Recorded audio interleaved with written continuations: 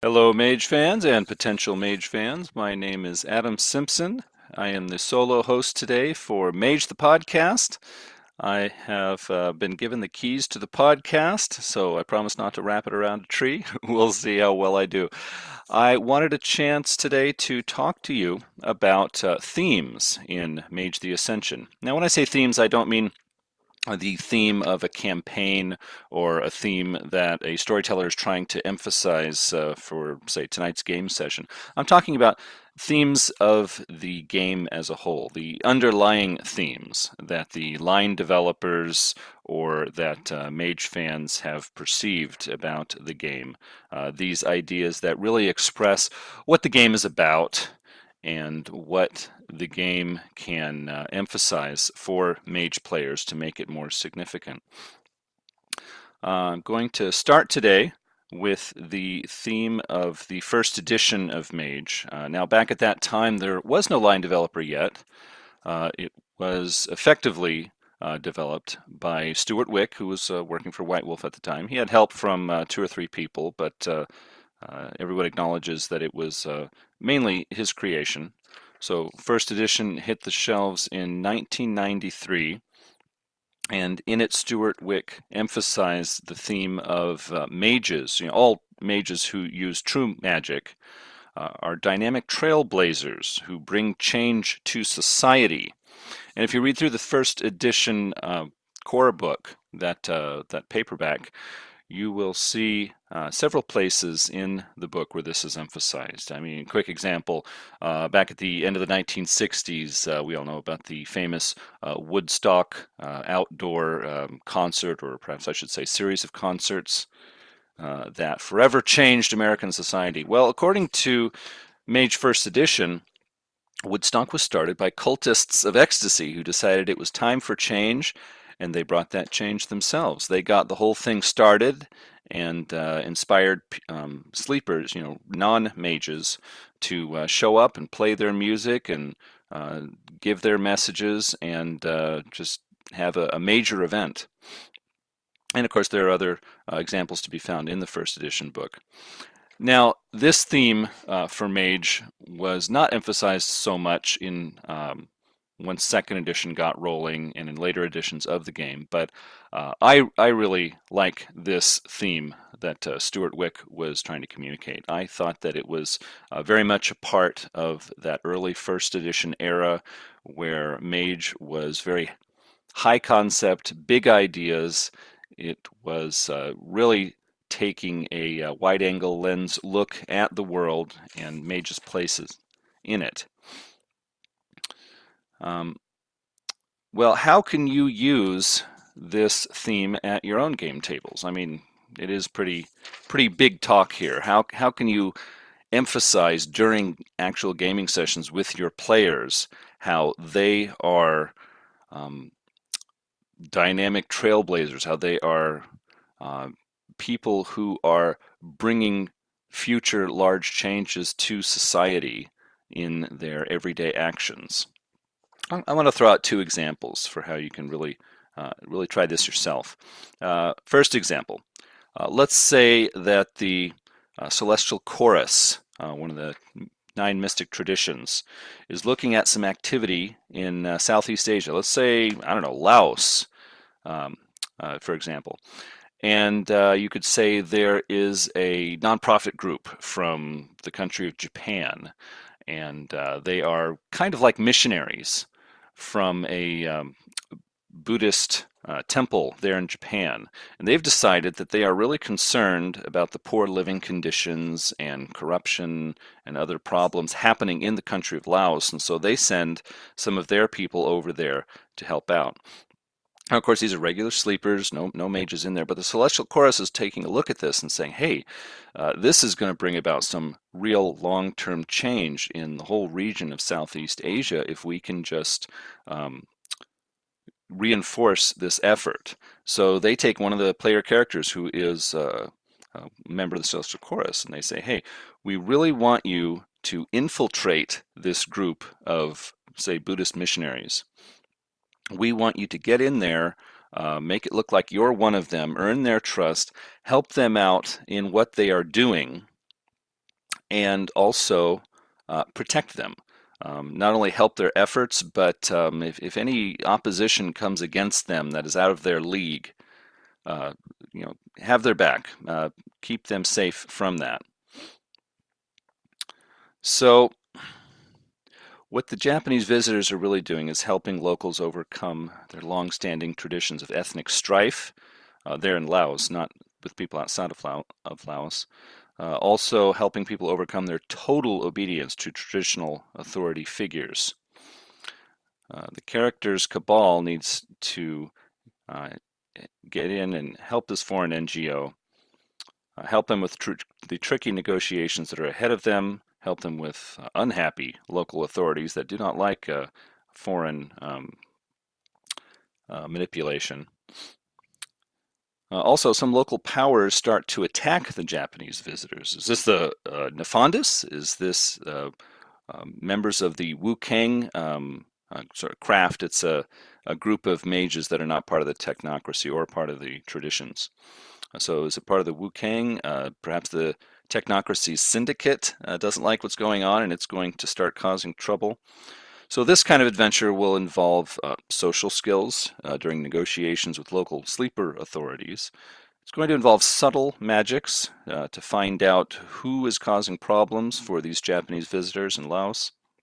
There can also be some combat and investigation to track down the uh, awakened magical threat and deal with that. Uh, so uh, again, the idea is that one of the players at your game session is a uh, Celestial Chorus member, and that the other uh, players are members of that cabal, and they decide to basically go along, uh, help out their cabal mate, make sure that everything's okay. Okay, let's look at the second uh, possible example. Now let's say uh, the virtual adepts, another one of the nine mystic traditions. Now the virtual adepts are really taken with this view of the internet, uh, telecommunications, networks, and how that can bring a very bright future for humanity. And the virtual adepts not only talk about this, but they're really working towards this. They want the internet to be a place where everyone is participating, everyone is benefiting, and everyone uh, has what they need to keep themselves uh, safe from attackers and uh, malware and other sorts of things. And so to pursue this long-term societal goal, let's say the virtual adepts are distributing a small electronic device. Um, now, in our real world, there's a device called the Pi hole, P-I hole. Uh, this is a, a little bitty um, electronic device with a plastic case. Um, it uh, uses, I believe it's a USB cord to connect to a regular sort of desktop or laptop computer. And once you have the proper software on there and it's connected, it, it piggybacks on your computer. Now, this is all real stuff. And what it does is it blocks ads, it blocks adware, it blocks uh, spying. So um, it helps a person keep their uh, interactions with the internet more anonymous when they get to web pages instead of these ads at the top of the page or to the side or like inserted into the text they're trying to read it'll just be a blank white space this is gone so uh, uh, a lot of people are getting excited about the Pi hole but let's get back to mage. So the virtual adepts have their own device and you know you can make up your own name for that and they are distributing that to the public. They're trying to get it to really catch on with people especially young people. So towards that end the virtual adepts have decided they're going to load up this little device with uh, popular resources for online games and social media all these things that young people are, are really going to want to use uh, when they use the internet so it gets popular. They've created memes and put it through, you know, message boards and websites all through the internet so that younger people are starting to talk about it, starting to go looking for it. And when they do, they find it and it's it's free or very cheap. Uh, also, this device that the virtual adepts are distributing has um, special um, capabilities built into it that blocks uh, high level spyware from, say, I don't know, the New World Order and the Syndicate or, or things like that. So it can help uh, sleeper internet users to be more secure, more safe, and um, not constantly annoyed by advertisements, etc. Now, as the virtual adepts are distributing this, they pull in one of the player characters and say, hey, we, we want you to uh, uh, overcome some barriers so that we can place uh, uh notifications about this in places on, on the web, uh, maybe put some resource files in the digital web uh, which is a virtual space in uh, the game of Mage the Ascension where virtual adepts are very active. Uh, not many sleepers um, know about or can even get to the virtual web, but the virtual web has um, resources, files, etc., that have an effect and connection to the regular internet that everyone uses. So this virtual adept player at your table is going to want to put resources in the digital web. There might be some resistance to that. They're going to want to go out to you know cities in the real world and put this device in the hands of regular sleepers and the rest of the players in your group can kind of support that perhaps it's a side story that's happening um, at the same time as the main plot that you're running for your group of players now some resistance arises um, as expected, uh, the New World Order or perhaps the Syndicate is giving some trouble. But what is really surprising is as your player character is distributing this device, he starts getting attacked by marauders, which is uh, very rare. Marauders don't appear very often in most people's campaigns, but for some reason they're coming out of the woodwork to attack this device, and it just doesn't make any sense. What could this be? What is this device to the marauders? You can get into this in your own game, and uh, that would be a second example of how your own players during game sessions can be these trailblazers who are uh, bringing their vision of the future into the real world and making it a part of society for the sleepers.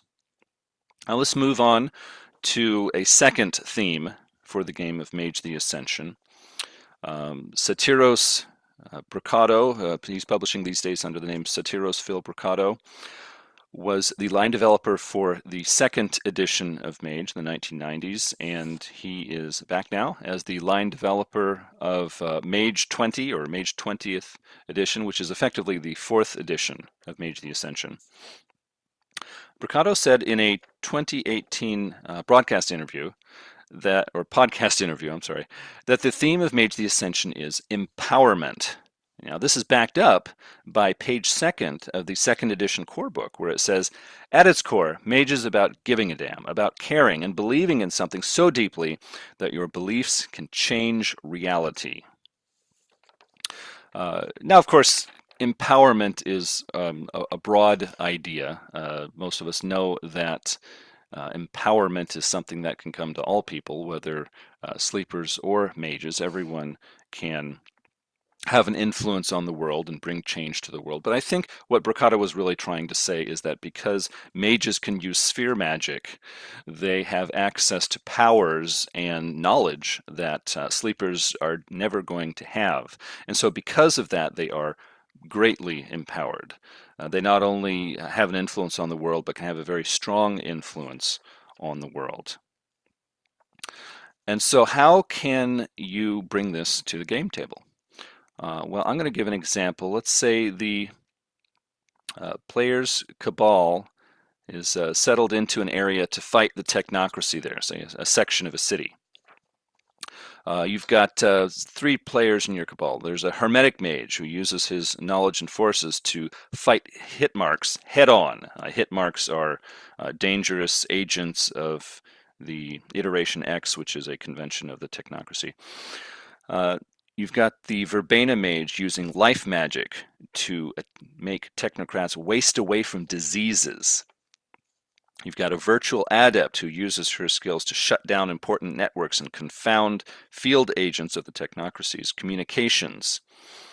Now, these three players are working hard. They are fighting the technocracy head on. By the end of your story, a couple of, of gaming sessions, um, the player group has won. They have struggled hard, fought effectively, and they have either killed the technocracy agents in this area or shut them down and made them withdraw. So, flushed with victory, they start to notice some changes in their neighborhood. Uh, over one or two sessions towards the end of your story, uh, you make it known to your players that uh, plants, trees, and people's pets are getting sick and dying off. Um, whole, you know, flower gardens and sections of trees are withering away and dying. Uh, elemental spirits in the near Umbra in this area are raging out of control. Apparently, they've seen the Hermetics' forces magic, and these elemental Umbrood spirits have uh, taken that as an example to follow. And so there are electrical storms, houses are losing power, fires are starting, people's homes are uh, catching fire, some are even burning down. Uh, freak windstorms that cause all kinds of damage in the neighborhood, etc. You can you can run with that and uh, give a couple examples to your players. Also, homes and offices are uh, getting damaged by uh, attacks on well, not so much attacks, but failures on the internet. Uh, for example, local hospitals and clinics uh, even uh, public schools are having a terrible time because their network computers are constantly breaking down. Their records are either getting deleted or they can't get access to it. There's all kinds of trouble for these schools, clinics, homes, etc. And um, the players start to realize that they have had a very direct influence on this city in which they're operating, uh, an accidental um, consequence of what they've been doing. See, they were trying to help the sleepers by fighting off these technocracy that were doing harmful things, and they succeeded, and that's great. But the players, uh, if done properly, are starting to realize that it's not just what they do with their magic, it's also how they do it. The players have been making technocrats sick and diseased and uh, knocking them uh, out of the fight, but also the resonance of that life magic to cause disease and illness and sickness and death is leaking out into the area and killing off the plants, killing people's pets. People's kids are getting sick.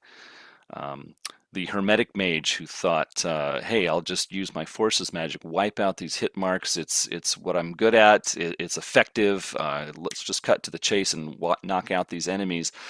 But there are uh, Umbrood spirits uh, who are much like elemental forces when seen in the near Umbra, and uh, they're almost mindless. They're not intelligent creatures. They react to these strong forces magic attacks and they rage out of control on their own. And also the uh, virtual adept who uh, is is so proud of her ability to shut down all the technocrats' communications. She's also cutting down sleeper communications and making life difficult for sleepers. So hopefully by the end of your story, you've given your players something to think about. Hey, I have a very strong effect, not just on the enemies I'm fighting, but on the greater world around me.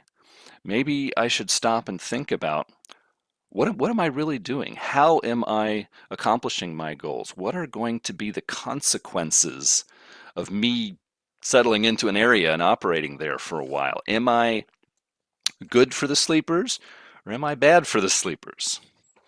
And uh, hopefully, this will cause some, some good discussion and uh, maybe even some change of tactics for your players for the next story you start up uh, with their characters.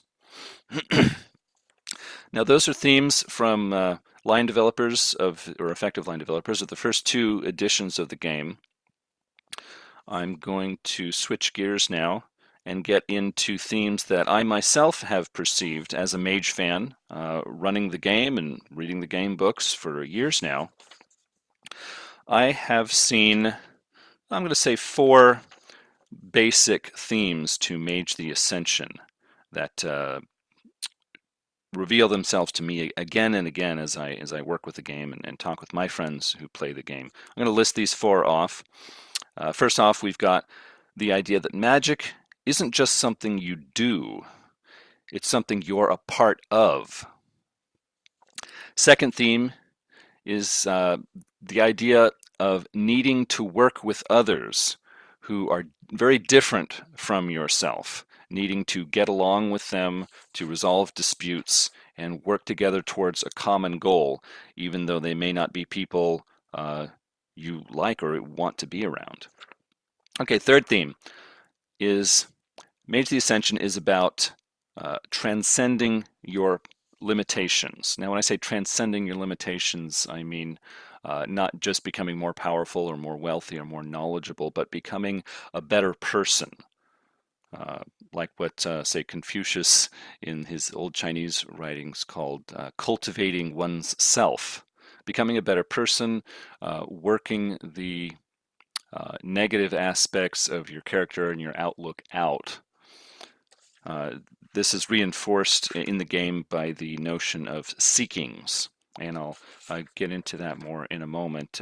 Just briefly, the fourth, fourth theme that I have seen is the notion of overcoming your pride and self-centeredness and reaching for something higher, something greater than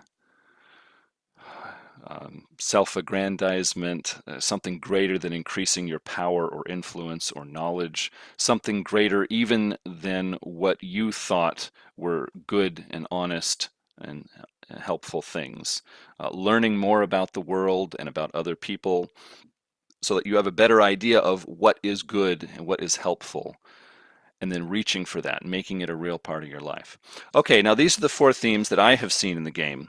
Let's get into some examples so that it's not just vague talk or fun discussions online, but something that's really a part of your game, something that, that is um, reinforced at the game table for your players, and it gives them something to chew on when they go home uh, after the game is done.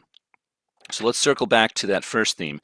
Magic isn't something you do, it's something you're a part of with a lot of uh, role playing games, especially the fantasy role playing games, magic is a skill that you learn. It's something that you can do that you couldn't do before. You can accomplish your goals, you can solve problems with it, but when you stop using it, it it disappears. It doesn't have any effect on you anymore. I'm not using magic now, so you know I'll go do something totally different. And um, magic is is not something I'll even think about until I use a spell again uh, the most that you can hope for is that someone might come to you and, and talk to you about the magic spells you've been doing, but but that's the end of it. Now, Mage the Ascension is very, very different, and that's what makes it so interesting for people like me. When a character in the world of Mage um, awakens to magic, they aren't just learning it, they aren't just capable of uh, doing spells or um, effects. They are suddenly aware of the magic that is in the world. And they are not only aware of it, but uh, they're a part of the magical landscape. They are sensitive to magical effects, magical phenomenon that is occurring around them, um, magical beings, uh, you know, Umbrood, uh, other mages, um, bygone creatures, um, etc. These things are aware of the mage when they weren't before. So it's, um, let's see, the example is used often in the books of uh, walking through the curtain. The sleepers are out in the regular part of the world. Um, not only do they not know magic or use magic, but they're not even aware of it, and magical uh, phenomenon and beings don't pay any attention to them. They're not part of their world. But when a mage awakens, they go through the curtain they're in a different place now. They are uh, interacting with um, magical creatures and, and so on. So, how can we uh, make this part of your game? Well, I would say to intro I would say the best way to do this is to introduce weirdness into the mage's life. Um, they notice not only more supernatural things, but um, the ideas, the powers, the people behind that magic. Uh, when other mages do powerful magic, they not only hear about it, but they feel it. Um, strange things happen in their lives, and these strange mystical occurrences are sometimes good, sometimes bad, and often neither. They're not really good or bad, they're just really odd things that are occurring. Uh, you can use these effectively as um, things thrown into your game, not the main um, plot of your game, not the main conflict that your players are dealing with, but just little distractions, little odd things that happen now and then that your players may latch onto and think are part of the plot and turn out to be uh, just rabbit trails, just just meaningless things that don't connect to anything else. Uh, for example, you could have an Umbra, a, a being or spirit from the Umbra, um, approach them.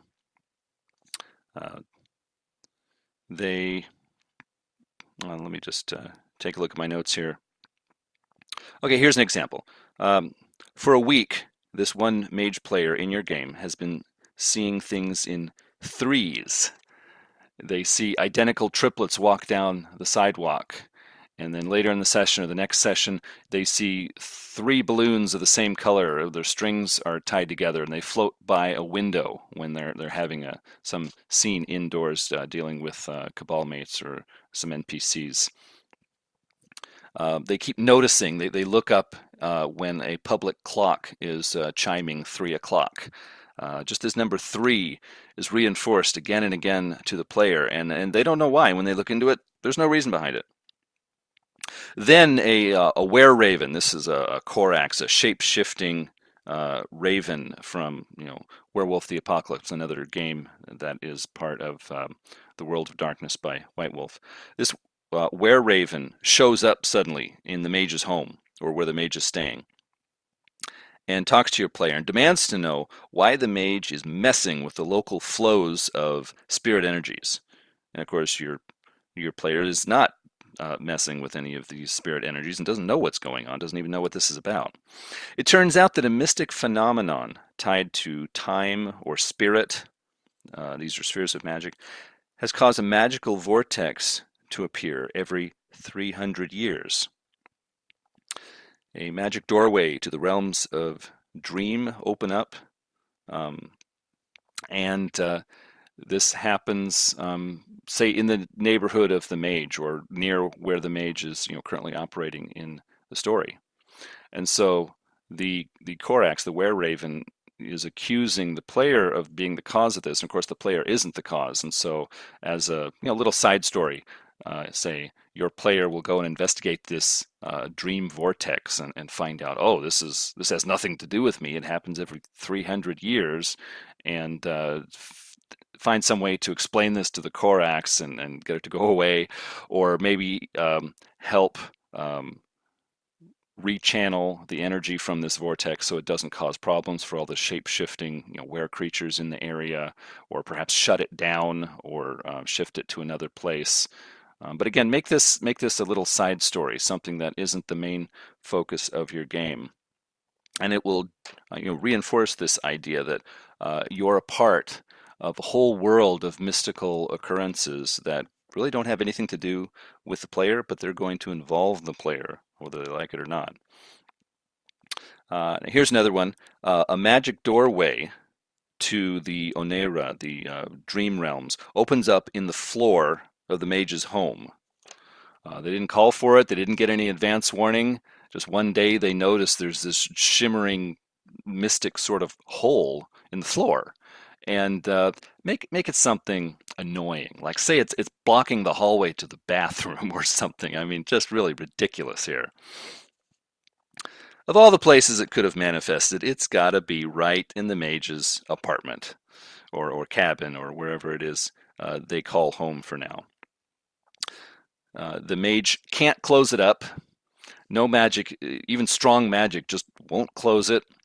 Uh, they can't do anything to even affect it and if they're not careful, if they try to you know, walk into it, they'll fall right down and end up in the dream realms. And of course, if your player does fall in, um, make it so that it's not terribly dangerous and it doesn't derail your whole chronicle. Give them some uh, way of getting back out again into uh, into the player's own home. But make it make it annoying. Make it something that they have to find a way around. Like say they, they get some long boards like at a construction site and put it over the hole and they have to walk over that to get to their own restroom. Um, after, say, I don't know, a week or something of game time, the hole just seals up. It just closes itself, goes away, doesn't leave any residue or, or any remains. And um, this is just an example of, of strange mystical occurrences. They're going to pop up and can't be avoided. So let's try another one. An Umbrood uh, spirit um, comes out of the closet doorway in the mage's uh, home again, or wherever it is they're staying. This Umbrood uh, comes right to the mage and is very upset that your player uh, has an appreciation of Chinese art in in the, the player's uh, home, or perhaps it could be African art, or whatever you like. Uh, the player's uh, aesthetic appreciation of this style of art is disrupting the aesthetic currents in the aether, whatever that means. The Umbrood isn't very good at explaining that. The player should, certainly doesn't understand. Now, the Umbrood forces a dilemma on the player. Either the player can round up all of this artwork and throw it out and solve this problem, which of course is, is going to be ridiculous to the player. Um, and throwing all of this art out would prove their axiomatic alignment with the aetheric uh, principles, which, which again is going to mean nothing to the player. Or the player can win a riddle contest with the Umbrood. And if the player wins, the art can stay. They don't have to redecorate their apartment, and the Umbrood spirit will just go away quietly. And if the Umbrood wins the riddle contest, then it brings other Umbrood spirits with it to reinforce its will. The player has to gather up all their artwork and throw it out. Now, of course, this is not going to be any real kind of problem for your player. It will be an annoyance either way.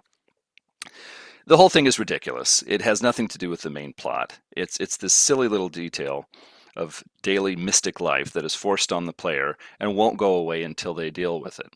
I'd make it quick.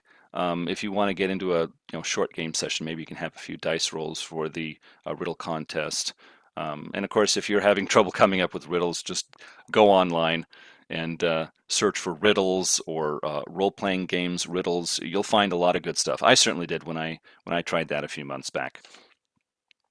Uh, so these are three different examples of uh, mystic strangeness that a mage cannot avoid, and uh, and what I gave you were like annoying sorts of things, but you can also give uh, examples of, of, of, other, other things that are not so much annoying, but they're just interesting. And of course, at first they seem really significant, and then when investigated, they turn out to be just, just meaningless, just a, a daily part of being a mage.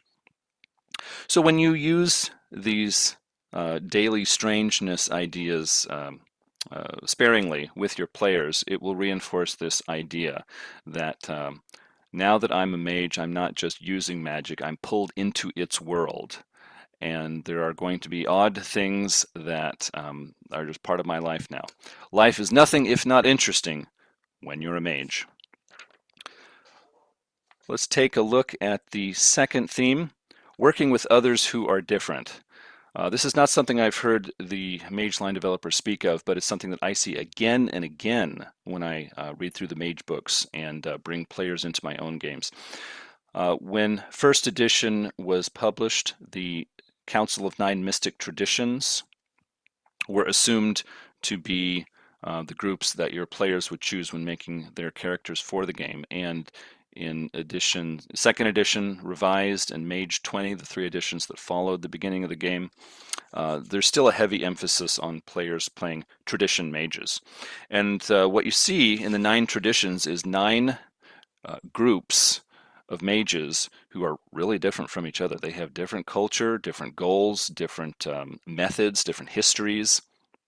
But they are together in this Council of Nine because of the Ascension War. They are cooperating to accomplish a common goal against their enemies, the technocracy and uh, other enemy groups of mages that are uh, threatening to wipe them out. So, as they do this, the nine traditions are again and again in these situations where they have to cooperate with each other, even though there are very great differences, and in some cases, uh, deadly rivalries uh, from the past. Um, I mean, an example of this is the uh, Euthanatos and the Akashic Brotherhood uh, had a um, very serious uh, war hundreds of years ago. I think it was called the Himalaya Wars, where they were going to battle against each other and uh, killing each other over differences in their idea of ascension and how to uh, help um, sleepers, uh, non-mages uh, nearby. The Euthanatos wanted to uh, wipe out, uh, kill certain sleepers to help the wheel of Dharma roll on uh, in the right way, and the Akashics thought it was terrible to be killing sleepers using magics that sleepers couldn't uh, defend themselves against. And so uh, that war ended hundreds of years ago, but in the traditions in modern times, that uh, problem keeps coming up. But uh, still, even though there's a rivalry and bad blood between them, these two groups have to work together, or the technocracy is going to stomp on them. So, how can you uh, make this real for your players? Uh, what I do to handle this is uh, what I most often get is players who choose tradition mages. I allow players to take uh, technocracy mages, uh, craft mages, uh, orphans, uh, mages who awakened on their own and are not part of any mystic tradition but have to figure things out on their own. But still, my players keep going back to the nine traditions. They, they like them, they see a lot of potential there, and a lot of times they think that it's an assumption that they need to choose from there. So they come to the table with different tradition mages and uh, they're going to make a cabal, a group, a player group that's going to cooperate and go through your story together. And I want to emphasize this idea that, hey, you guys have made characters from very different uh, backgrounds, very different groups. And um, there are things about each other that you don't understand, you don't feel too good about, but you're going to have to work through that. And the way I emphasize that is in the first game session, uh, I have each player uh, pulled aside by NPCs from their own uh, tradition. Um, NPC mages, say, from uh, the tradition that they're a part of, and pull them aside and talk privately with them. And it says to you know the player character, you're about to uh, join this cabal and work with these other tradition mages, and that's what you need to do. That's a good thing. Go for it. But um, you have been trained and trusted by our tradition for you know these many months, these many years. We have taught you our um, power. We have taught you our secrets. We have shared our history with you, and you are trusted to keep that secret. Uh, these I, I, have the npc give specific uh, things to the mage these are the rotes that you have learned uh, these are the uh, powers that we've taught you that you cannot tell anyone else about. Keep it a secret for just our tradition. Um, also, I'm going to say these are the things that our tradition is doing out in the world right now that we've got to keep secret or, or that project is going to fall apart. Uh, these are um, these specific mages in specific places that are doing things. You've got to make sure never to reveal that secret to anyone else. Uh, for example, you've got a Hermetic mage, and so that mage's mentor will, will pull the Hermetic player character aside and say, hey, uh, we have been teaching you spirit magic and forces magic, and uh, that's because in the future we want you to help with this project in New York City where we are rooting out a dangerous marauder and shutting her down. It's very important. We've got agents already working on that project and we're not assigning that to you yet. But keep the whole thing secret. Don't tell anybody about this operation in New York City, city sorry, to shut down this marauder. That is very secret stuff. We have taught you spirit magic, and the way we taught you spirit magic was we told you the names of specific powerful Umbrood spirits. We gave you the true names for these spirits. We taught you the specific uh, circle diagram that you draw in chalk on the floor to uh, summon the minions of this Umbrood spirit. We have taught you the words to say to force these Umbrood spirits to um, follow your commands. This is secret material. Do not show this diagram circle to anyone outside of the Order of Hermes. Do not give these Umbrood spirit true names or um, you know, specific command words to anyone outside the Order of Hermes. If we find out that you have leaked this information, there's going to be very real punishment for you.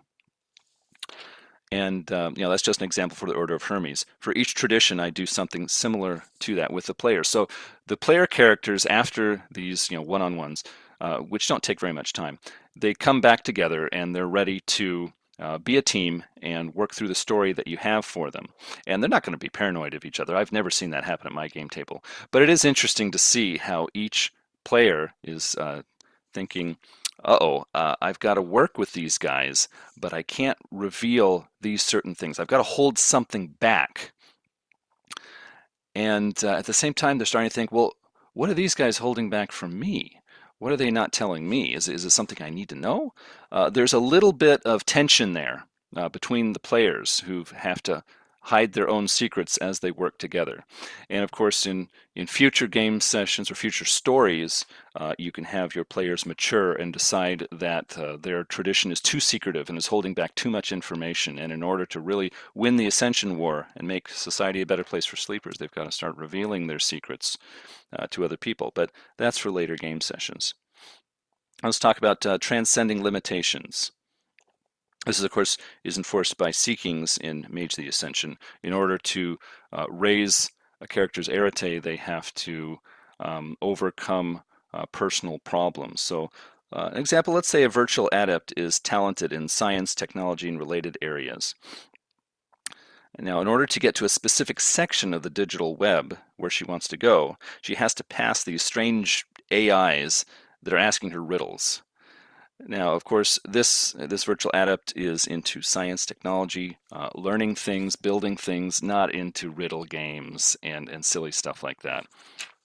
So the virtual adept is going to make um, rolls, straight rolls to solve these riddles with uh, just intelligence or wits, uh, whichever of those traits is lower. No skill can be added to the dice pool. Uh, give them high difficulty, like 9 or even 10, and make the riddles 2 or 3 deep, so a lucky roll is not going to help. The player is frustrated, can't get past these AIs, can't get to the part of the digital web where she wants to go, so she has to um, cooperate with a local group of hollow ones she's heard about who meet in a tea shop. They tell riddles and read their poems and do things the hollow ones like that the virtual adept absolutely hates. Okay, after spending some time uh, with the hollow ones, you allow the player to spend some experience points on the Enigmas skill on the mage character sheet.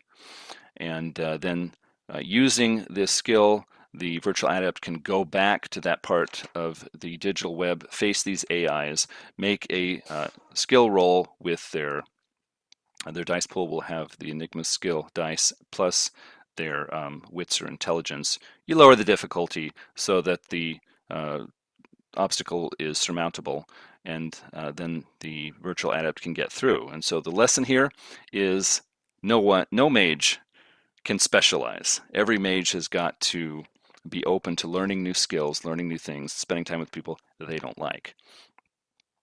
Okay, uh, last, let's, or no, the third theme that I found is overcoming your pride and self-centeredness to reach for something higher.